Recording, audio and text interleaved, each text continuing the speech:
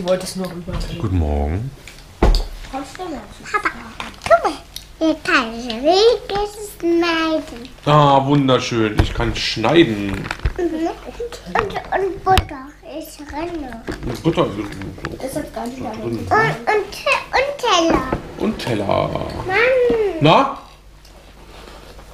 Und den Hast du Aufbau der fein. Kleinste? Bin ich mal. Mama hatte auch ein Kleid. Und das Kamerakleid. Das Kamerakleid. Uh, uh, uh. Papa, Das hier ist Mama weiß, Mamas Kleid. Serafima tragt schon richtige so eine, wie heißt das nochmal? Na, BHs? Ja, Nein. doch, Echt? ja. Oh, Unterwäsche so? BHs? Nein. Stimmt, so ein Bustier, ein Top vielleicht. Unglaublich. Aber die ist auch älter. Nee, die ist neu. Oh, so. Nee, nee, was? Aber sie ist bestimmt die einzige, oder? Nee. Doch.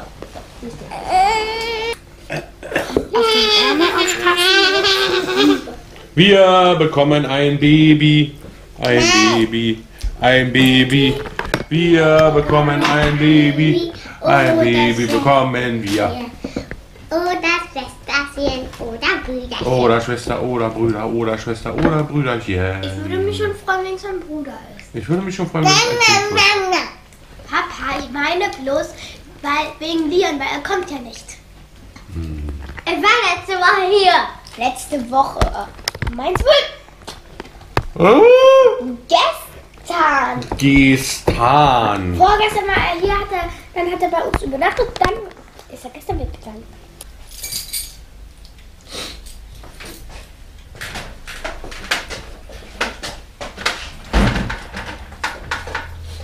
So ein Riesenrad hier. Jo, was machen wir? Es ist trübes Wetter. Und ich werde den Zettel oben anmachen. Wieder. Und ich nach oben werde die tausend anderen Dinge tun, die ich zu tun habe. Marlies braucht auch Hilfe, so ein bisschen. Das ist schon in Ordnung.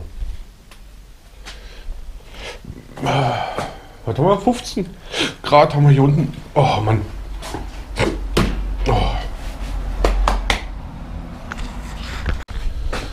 Corona, ein Corona, ein echtes, natürlich nicht, sondern einfach nur ein Markenname Corona Bravo 21. Schlauchwechsel. Der erste Auftrag des Tages. Ein Schlauchwechsel.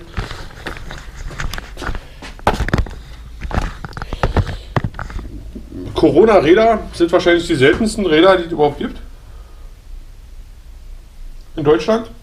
Von den deutschen Marken. Von den alten deutschen Marken, sagen wir mal so, ja. Ja, es gibt bestimmt auch ausgestorbene Marken, das mag es auch sein. Mag auch sein, also, aber von den Corona-Rädern, äh, da ist ja sehr wenig bekannt von den Teilen.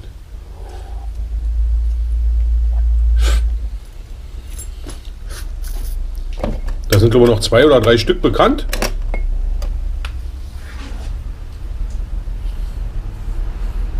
Und eins hängt bei mir im Keller. Ha! Ja! Finde ich gut.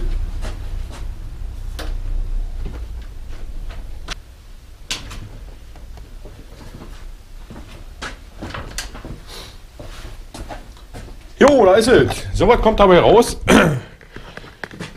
Wenn irgendwelche großen Gruppen alte deutsche Namen aufkaufen oder alte deutsche Fahrradmarken aufkaufen und nicht nur die, also sie kaufen ja international diese alten Traditionsmarken auf und äh, die sich im jeweiligen Land dann eben gut verkaufen lassen, dann lassen sie einen Rahmen produzieren, meist in ähm, äh, Taiwan oder so. Also das ist äh, ID-Nummer, Nummer, RAM-Nummer. Das ist wahrscheinlich auch äh, Giant oder sowas. Dann lassen sie eben, äh, schicken sie 100.000 Rahmen in das eine Land, 100.000 in das andere Rad, äh, Land. Und dementsprechend lassen sie sie labeln. Aber jetzt sind wir in Deutschland, machen wir mal Corona. Und dann kann man der, der, der Namen, Nameninhaber, der kann sogar aufschreiben, Corona seit, was weiß ich, 1890 oder 1899, 1898. Seit wann gibt es die Corona? Ja. Und, der, und dann der Käufer denkt, wow, Qualitätsrad, ne? Also, so lange machen die schon Räder. Boah, toll. Ja.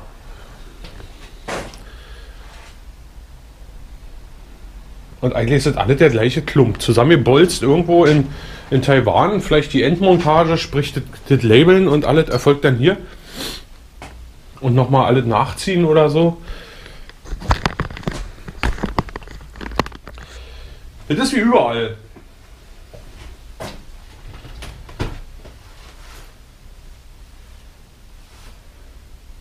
Gut, ist eine simple Geschichte. Hier ist ein Hinterradschlauch platt. Hier haben wir einen Schlauch.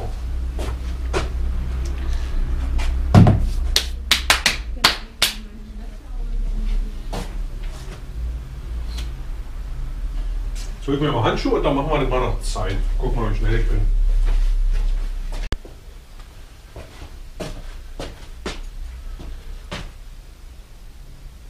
So, jetzt.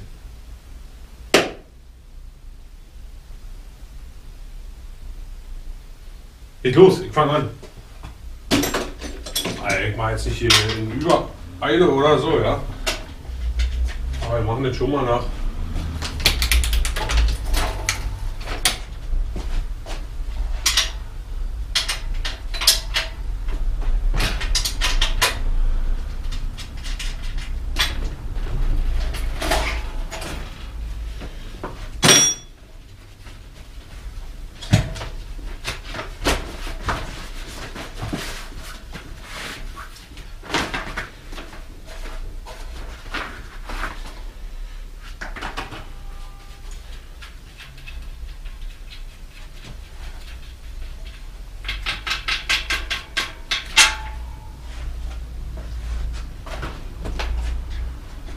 Oh Gott.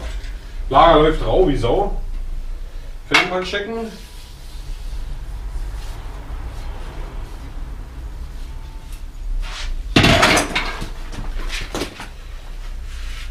Reifen checken.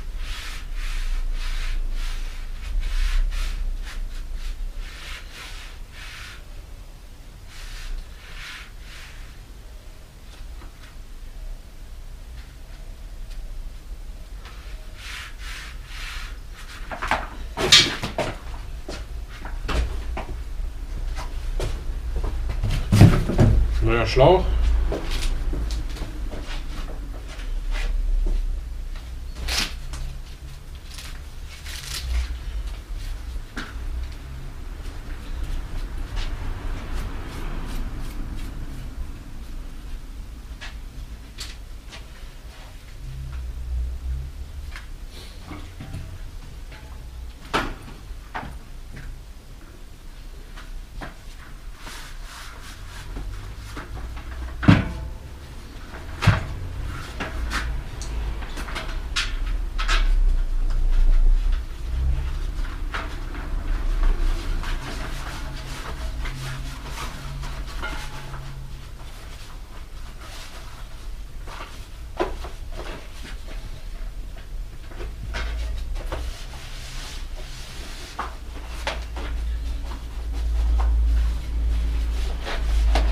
Neuer Schlauch drin.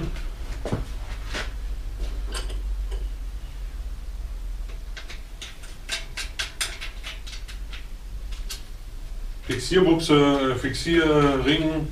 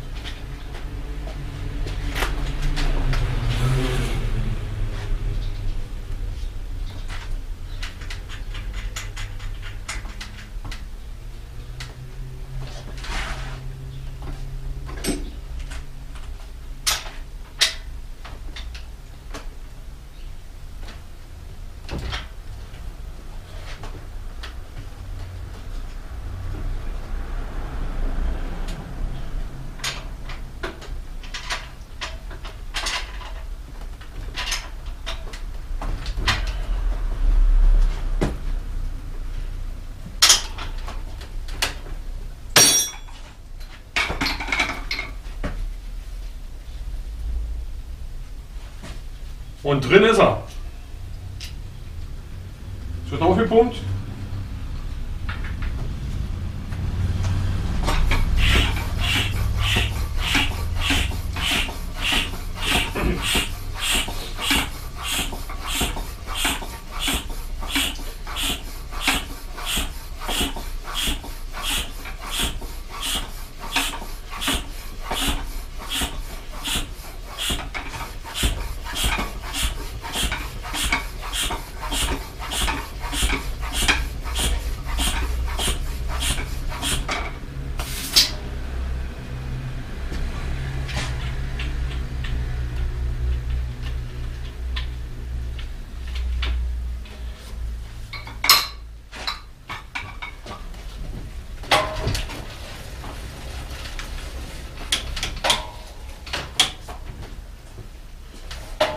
Das war's. Fertig. 5 Minuten 16. Oh, 5 Minuten. Sehr gut. Ja, und jetzt geht's wieder nach oben. Wir warten auf den nächsten. Klappt doch eigentlich gut. Ich meine, muss ich hier unten stehen und warten jetzt eine Stunde und nichts passiert. Deswegen, alle schick. Meine Schnittschutzschuhe, 350 Euro.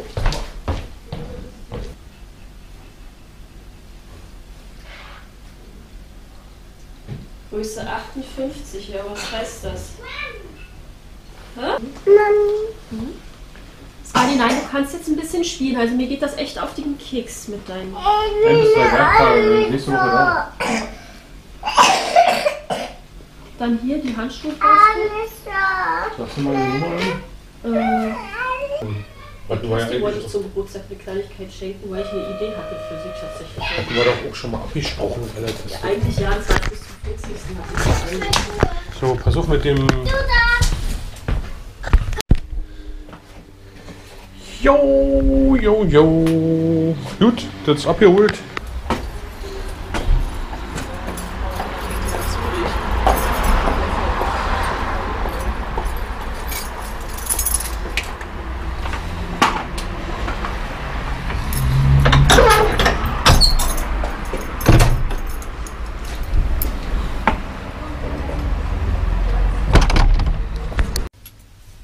Oh ja, du, ja, du, ja, du, ich bin fertig auf der Röhre. Ich habe gerade Kunden im Laden eingeschlossen. Oh mein Gott, ich sitze hier oben und die fummern da unten an den Türen rum und ich denke, hä?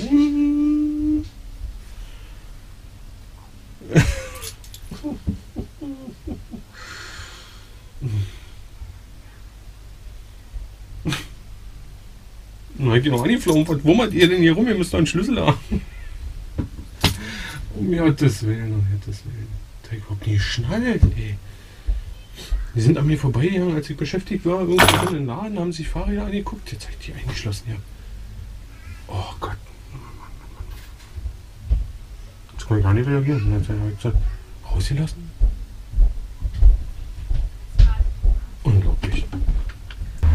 Kann ich immer noch nie fassen, ey. Da muss man sich mal vorstellen. Die laufen an mir vorbei. Also, ich bin gerade beschäftigt, fragt. Und die haben mich was gefragt. Jetzt im Nachhinein wird es mir bewusst wieder. Aber ich kann das nicht. Ich kann das wirklich nicht. Die zwei Dinge auf einmal. Ich kann das nicht. Das ist furchtbar. Ich habe gesagt zu denen, äh, ja, unten, schaut mal unten durch oder so. War aber beschäftigt mit was anderem. Und dann war ich fertig und dann war ich noch eine Minute da und dann bin ich nach oben gegangen und habe abgeschlossen. Die stehen hier unten, um Gottes Willen, zehn Minuten lang. Hallo? Um Gottes Willen, ey. Das ist mir echt peinlich. Also ich entschuldige mich in aller Form dafür. Oh mein Gott, ich brauche halt Urlaub. Ich gelobe Besserung. Ich komme ja nicht drüber weg, aber ja, ich muss ab und zu zwischendurch lachen, nicht wundern. weil es so absurd ist, weil ich die so zusammenstaucht habe, halt, obwohl die eigentlich so völlig so nicht dafür können. Und eigentlich hätten sie mich zusammenstauchen müssen. Wie kannst uns denn einschließen? So absurd, aber kann man mal sehen, so funktioniert das. Ey, wenn du schuld bist, einfach eine große Fresse haben. Einfach über den Mund fahren, irgendjemand, und der ist völlig der ist so defragmentiert. der so, Ja, hat, hast du recht. Hat er ja recht. Da kommt man sich selber und hinterher fragt man sich dann wahrscheinlich zu Hause, kommen die an und denkt, war der bescheuert oder was? Ja, in dem Fall, ich warte, ich bin bescheuert. Aber naja, ich habe einen eigenen Auftrag. Also hier, das Rad, das Platt äh, ist eins von meinen. Kein Auftrag von ähm, Kunden, sondern ein Auftrag von mir selbst. Da meinte einer ist ein Nagel drin. Ah, hier ist irgendwas drin. Hier ist Metall drin, tatsächlich.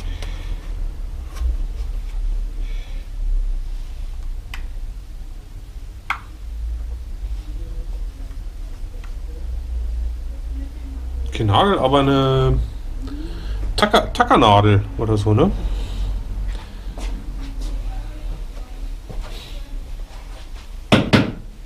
Meint er wahrscheinlich auch. Clue. Tackernadel. Hat der noch nie tackert in den Reifen? Der kommt doch nicht von der Leder. Die liegen ja meist auch nicht einfach so rum auf der Straße.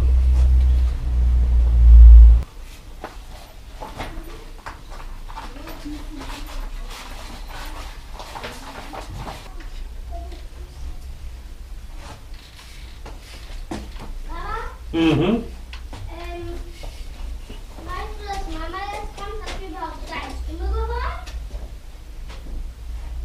Wie bitte? Radio Mama kommt. Ja.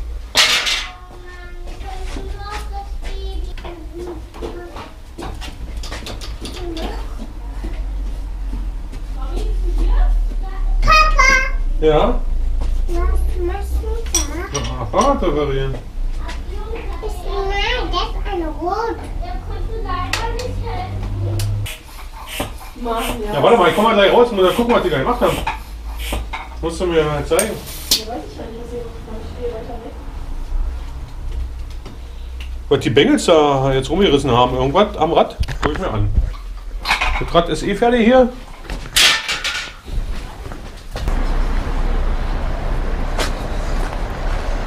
Was denn? Wollten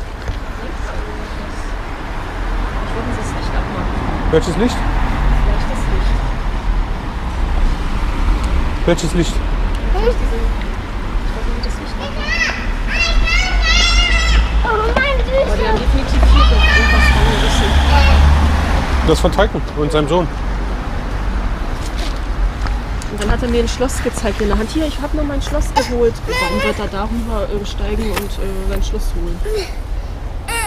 Meine Kita.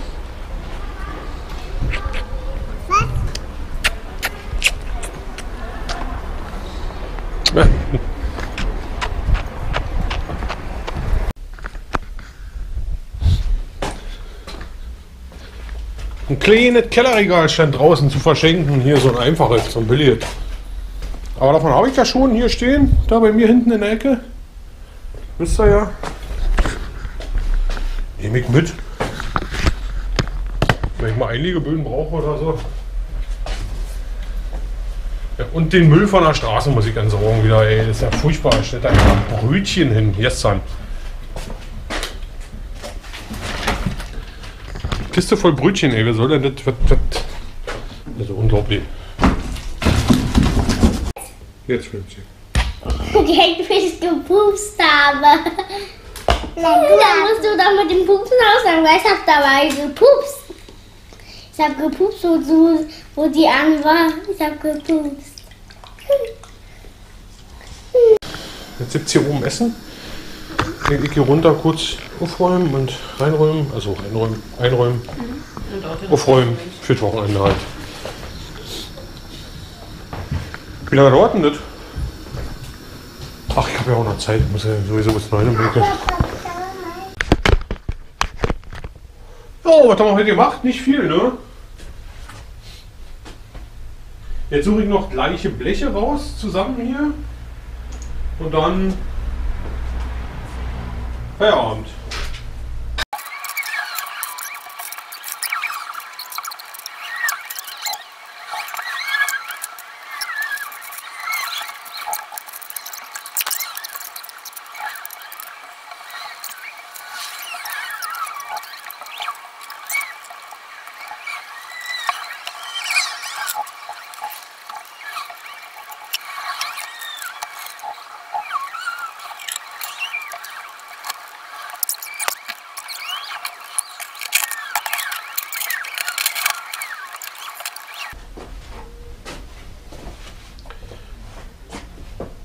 Ja, das ist doch schön. Das, das Tachel davon. Quasi. Meier. Wie auch immer. Das war, ich habe äh, umgeräumt, aufgeräumt, noch nicht gleich, aber umgeräumt erstmal. Gut. Was denn jetzt?